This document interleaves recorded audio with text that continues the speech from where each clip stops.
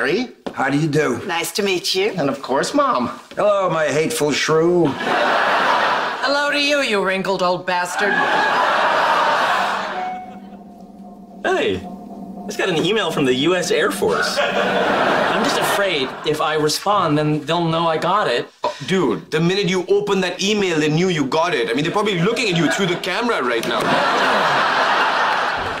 Oh, God. I think someone's following us. Turn left here and see if he turns with us. Why is he turning here? The restaurant's the other way. I don't know. He uses that traffic app. Maybe there's an accident. Oh, so follow him. Oh no! Leonard, if you don't mind, I think I'm a little tired. I'm gonna call it a night.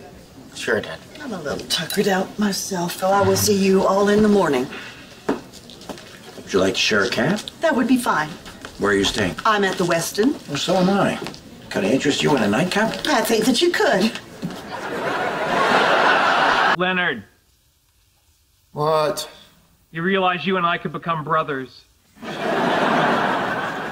We're not gonna be brothers. We're not gonna be stepbrothers. Go to sleep. I hope you're right. Because a grown man living with his brother and his brother's wife is weird. Go to sleep. Okay. You think your father's doing unspeakable things to my mother? No. Are you saying that because the things are unspeakable? Your parents are old. Anything unspeakable was finished by 9:30. Go to sleep. Do yourself a favor, all right? When Beverly gets here, do not bring up last night, all right? As far as you're concerned, you don't know anything. You didn't see anything. I want you just to play dumb.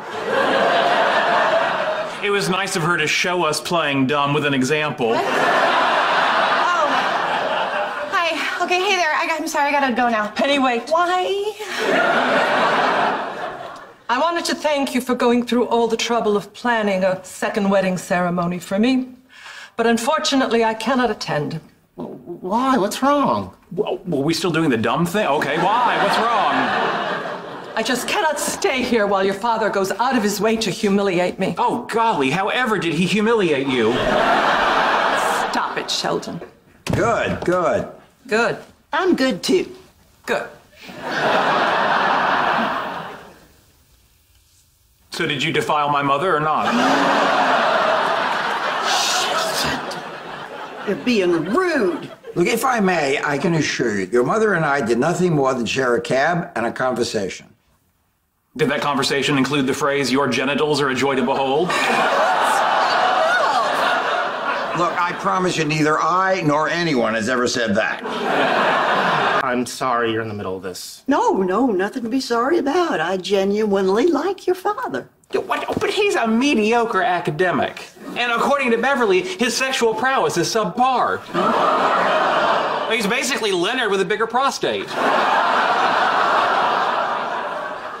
Are you saying that my dad's not good enough for your mom? Yes, while also getting in a solid dig at you. Pretty efficient, huh? I can't even.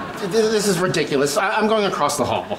Well, why should you get to go and leave me here with your bickering parents? Fine, then you go. Well, I don't want to stay here with her. I'll go. I'll go with you. That still leaves me here with him. Hang on, hang on. We're smart. We can figure this out. Love is patient, but it's not gonna put up with all the side chatter, so let's knock it off. Least she's yelling at someone else for a change.